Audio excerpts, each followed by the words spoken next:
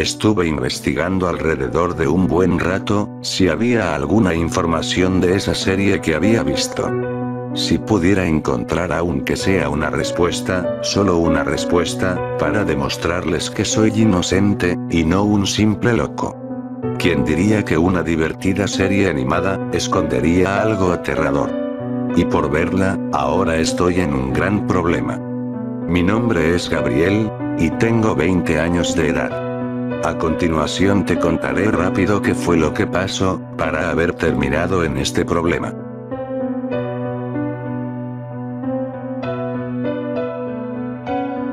Corría las 8 de la noche. Yo me encontraba en mi habitación, realizando tareas de mi universidad, que se entregaba para el día de mañana. Aparte de estar realizando mis tareas en mi computadora, estaba cuidando a mi hermano menor de 6 años, ya que mis padres aún no regresaban del trabajo. Mientras estaba realizando mis tareas, mi hermano estaba en la sala viendo series animadas en la televisión.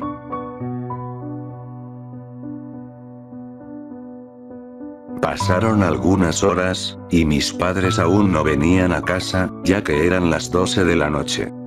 Yo aún seguía avanzando en mis actividades, pero más rato después, mi hermano me llamó, y me dijo que estaba dando los padrinos mágicos. Esa era una gran serie que marcó mi infancia, cuando tenía la edad de mi hermano lo veía cada rato en la televisión, todos los días. A lo que yo le dije a mi hermano que no podía, ya que estaba ocupado. A lo que mi hermano comenzó a insistirme que venga, pero yo le grité diciéndole, que estaba ocupado en mis tareas, y que no moleste más. Después de haberle dicho eso, mi hermano no me dijo nada, y comencé a seguir avanzando mis actividades. Pero en un momento, escuché a mi hermano, hablando con alguien. Escuché que le estaba diciéndole a alguien su nombre, con quien vivía, que le gustaba, etc. Me dio igual, ya que creí que estaba hablando con un amigo imaginario. Pasó unos 30 minutos después, y por fin terminé mis tareas. Salí de mi habitación, y me fui a la cocina a cenar algo. Pero me enteré de que mi hermano menor, no estaba en la sala pero la sala estaba desordenada.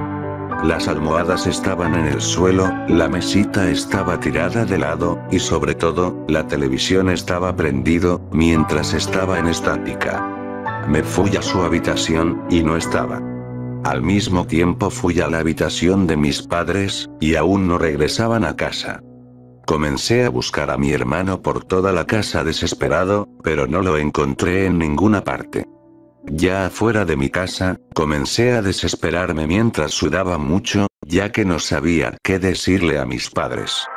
En eso, escuché los gritos de mi hermano. Yo corrí adentro, y vi de lejos, como la televisión comenzó a dar estática demasiado fuerte, y la pantalla se puso en negro. Luego comenzó un episodio. Apareció una intro, y era de la serie de los padrinos mágicos. Yo me dije, ¿qué estaba pasando? En primer lugar, ¿dónde está mi hermano? Y en segundo lugar, porque la televisión estaba fallando. Me dije muchas cosas en la mente, pero decidí ver el episodio. Después de la intro, apareció el título del episodio que se llamaba La venganza de Vicky. Yo me quedé con una mirada sorprendida, ya que el título era algo fuerte para los niños. Pero le di igual, solo continué viendo. El episodio comenzó mostrando la casa de Timmy. Él estaba durmiendo, y sus padrinos, Cosmo y Wanda, lo alistan para que vaya a la escuela, ya que tenía un examen muy importante. A lo que Timmy ve su hora, y ve que no llegará temprano. A lo que le dice a sus padrinos, que desea ser un carro rojo. A lo que sus padrinos le cumplen el deseo, y ahora él mismo maneje desde adentro, para que se vaya a la escuela. Timmy a toda velocidad, destruye la pared de su habitación, y cae hacia abajo, y se va a toda velocidad. Después de tantos obstáculos como, señoras con sus hijos, tránsito, luz roja, etc. llegó temprano a la escuela. Ya luego sus padrinos que lo venían siguiendo lo convierten como antes, y se convierten en útiles escolares, y lo acompañan. Al entrar ve a su profesor Crocker, y él se sorprende bastante que haya llegado temprano, ya que siempre llegaba tarde. A lo que le dice a Timmy, de que como vino temprano, si siempre llega tarde. A lo que Timmy le dice que fue más organizado, y no tuvo obstáculos. Luego el profesor Crocker sale de la clase, y comienza a sospechar que la razón de que seguramente haya llegado temprano son por los padrinos mágicos. Una vez haber llegado todos los niños a clases, Timmy le dice a sus amigos que si han estudiado para el examen. A lo que ellos le dicen que sí, pero estuvo difícil, y no saben qué va a venir en el examen. A lo que el profesor Crocker les dice a los niños, mientras se reía de forma loca, que tienen solo una hora para realizar el examen, y los que desaprueban, se quedarán limpiando todo el salón. A lo que todos dieron el examen con miedo. Timmy estaba realizando su examen, y en un momento sus padrinos lo ayudaron en las preguntas. Pero Crocker sospecha de que sus padrinos le estén ayudando, y le dice a Timmy, que si estaba haciendo trampa. A lo que él le dice que no. Crocker se levanta, y va a la carpeta de Timmy, y ve que no estaba haciendo trampa. Avergonzado, se va a su escritorio a sentarse. Después de una hora, acabó el examen, y Crocker silbó con un pito, y diciendo, que el examen terminó. Corrió por todas las carpetas, y recogió los exámenes. Luego comenzó a revisar los exámenes, y a todos les puso F. Pero cuando vio el examen de Timmy, se quedó con la boca abierta cuando ve que todas las respuestas estaban correctas y con una mirada enojada le pone una A a lo que le dice a Timmy felicitaciones, y le da su examen. Timmy muy feliz se despide de sus amigos que se quedarían limpiando el salón, y se va para su casa. Crocker de forma sigilosa, lo sigue hasta su casa, para ver si en verdad existen los padrinos mágicos, y para que no lo tomen por loco. Mientras caminaba a su casa, Timmy le da las gracias a sus padrinos por apoyarlo en el examen, sin que Crocker se dé cuenta. A lo que ellos les dice que no fue nada, con una sonrisa. Al llegar a su casa, antes de que abra la puerta, alguien abrió la puerta. Y era Vicky. Agarra a Timmy y le dice. Vaya, miren quién llegó. ¿Qué es eso? Sacaste una en el examen, felicidades, pero creo que tus padres no lo verán para creerte. Vicky lanzó el examen de Timmy al fuego, y Timmy no lo pudo creer, y empezó a gritar. Vicky le dice que se calle, y se vaya a limpiar toda la casa. A lo que Timmy enojado, le da una cachetada fuerte a Vicky. Vicky toda enojada y furiosa, comenzó a perseguir a Timmy por toda la casa, para proceder a lastimarlo, y a arañarle el brazo con sus uñas largas.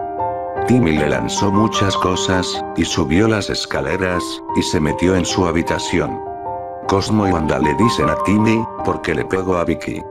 A lo que Timmy le dice que ya no permitirá que Vicky sea su niñera.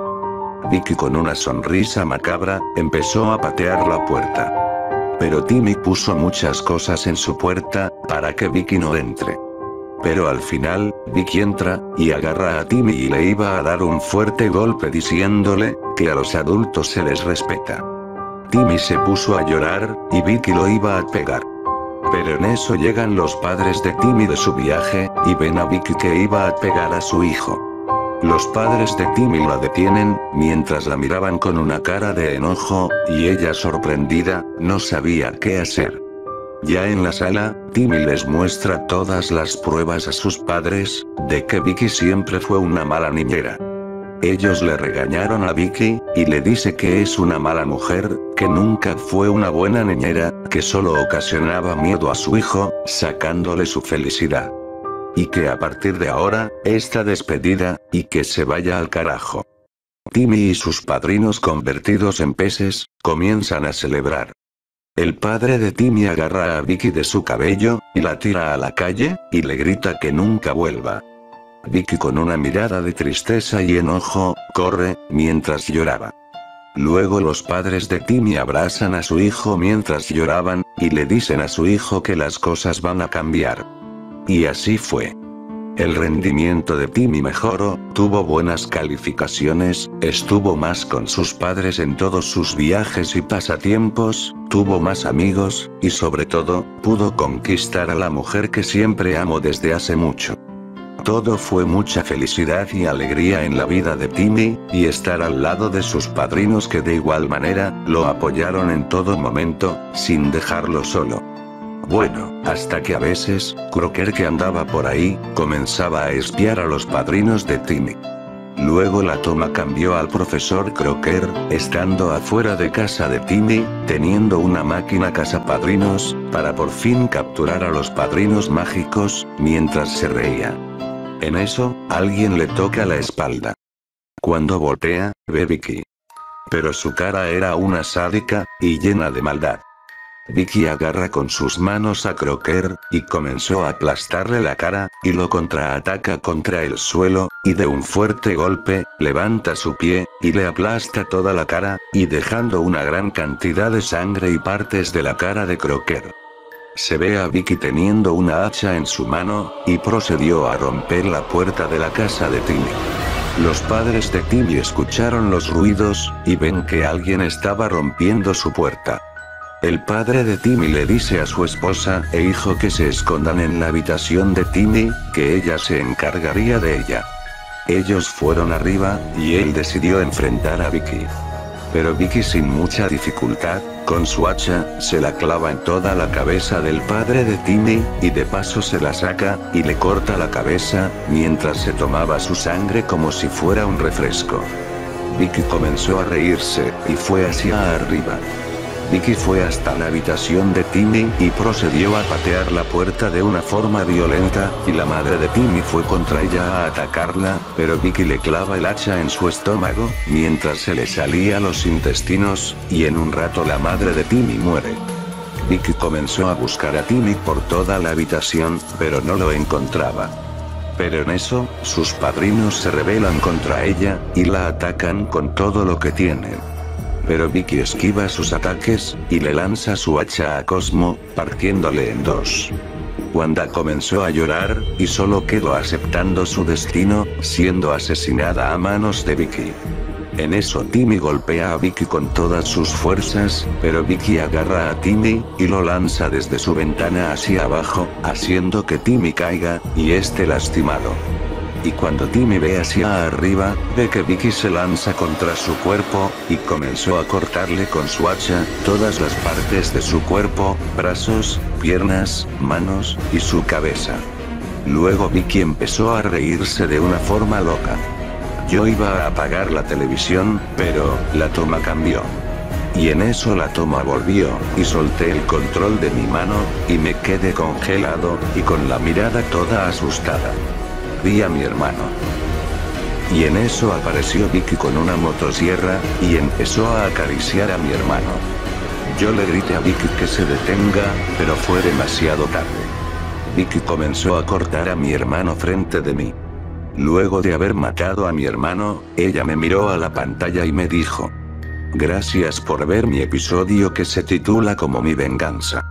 Y acabo el episodio.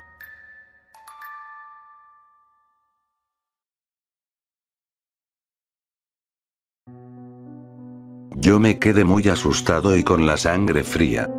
Decidí salir de mi casa para pedir ayuda, pero al salir, vi en mi césped, el cuerpo de mi hermano sin vida. Entré a mi casa, y me fui a mi habitación a investigar, si había un maldito episodio de esa serie, pero no había ninguna respuesta a ello. No sé qué hacer, no sé qué me pasara. Solo queda demostrar que soy inocente, o solo aceptar mi destino. Así como hizo Wanda antes de morir.